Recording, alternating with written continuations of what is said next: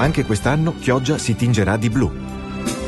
Tra pochi giorni, infatti, nel periodo dal 21 ottobre al 1 novembre, riparte la manifestazione Ottobre Blu. La kermesse dedicata interamente al mare, cultura, sport e folklore, promossa dall'Aspo Chioggia in collaborazione con la Marina Militare, l'ANMI e il Comune di Chioggia. Una manifestazione che nelle precedenti edizioni ha riscosso numerosi apprezzamenti ed un notevole successo, facendo giungere in città migliaia di visitatori da tutta Italia. Una serie di eventi che hanno coinvolto l'intera comunità clodiense, le sue associazioni sportive e culturali e molti imprenditori locali e che ha prodotto sul territorio un'importante ricaduta economica promuovendo nel contempo il porto commerciale, le sue banchine e i suoi operatori. Questa terza edizione di Ottobre Blu prevede un ricco calendario di mostre, spettacoli, conferenze e manifestazioni sportive che si svolgeranno tra il centro storico e l'isola dei Saloni.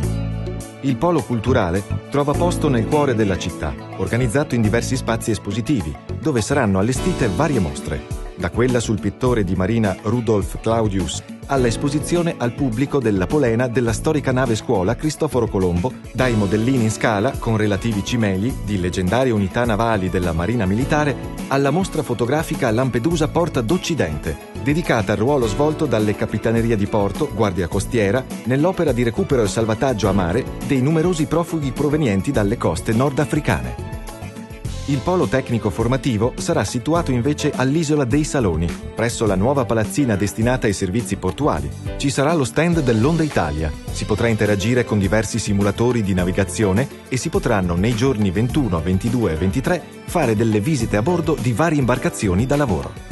Nei giorni dal 27 al 29 saranno invece ormeggiate e si potranno effettuare visite a bordo di alcune unità navali della Marina Militare, tra cui due pattugliatori, Spica ed Orione, ed una corvetta, la Sfinge. Sarà inoltre attivo il centro promozionale della Marina Militare. Ampio il programma delle regate, che quest'anno hanno un ruolo centrale all'interno delle manifestazioni sportive, che comprendono anche il trofeo di scherma e il tiro a volo.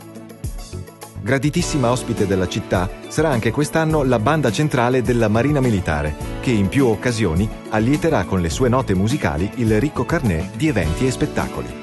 Nutrito ed interessante anche il calendario delle conferenze e dei convegni, dedicati principalmente al tema centrale della formazione, dell'etica e del comando nella cultura marinaresca, che si legherà anche ai temi del 150 anniversario dell'Unità d'Italia. Questo per sommi capi il programma di Ottobre Blu 2011, che è veramente ricco di eventi e manifestazioni e che lasciamo a voi il piacere di scoprire.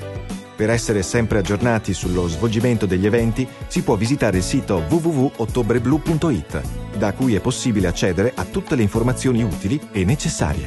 Buon Ottobre Blu a tutti voi!